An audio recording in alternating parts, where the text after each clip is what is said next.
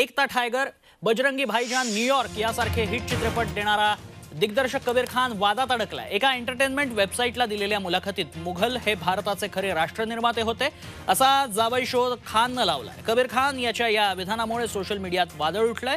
त्यांच्या या विधानावर अनेकांनी आक्षेप घेतला असून मुघलांच्या अत्याचारांना बळी पडलेल्या आणि त्यांच्याशी प्राणपणानं लढलेल्यांचा हा अपमान असल्याची भावना आता व्यक्त होतीये.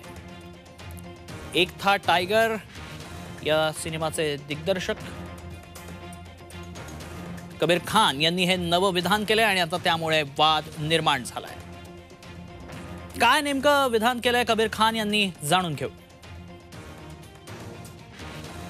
I can understand when a filmmaker has researched something and a filmmaker wants to make a point. There, of course, there can be different viewpoints. You know, I'm saying you want to demonize the Mughals, please base it on on some research and do it and make us understand why, right? Uh, why they were the villains that you think they were.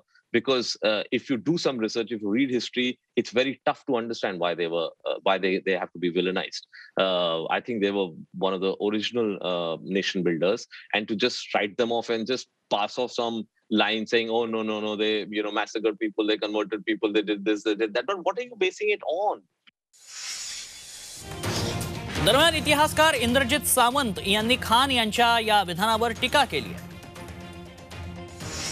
की कुठल्याही मोगल सम्राट असेल मोगल राजे असतील अ, यांचं इथल्या मातीशी जो काय ऋणानुबंध जुळायला पाहिजे तो जुळलेला नव्हता आणि म्हणूनच मो अ, मोगलांच्या विरुद्ध छत्रपती शिवाजी महाराज असतील छत्रसाल असतील अ, गुरु गोविंद सिंगजी असतील अशा इथल्या मातीतल्या भूमिपुत्रांनी कायम त्यांना जुगारून द्यायची मुघलिया सत्ता जुगारून द्यायचा प्रयत्न केलेला आहे.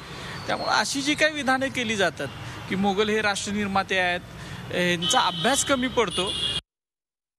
छत्रपतींचा विचार म्हणजे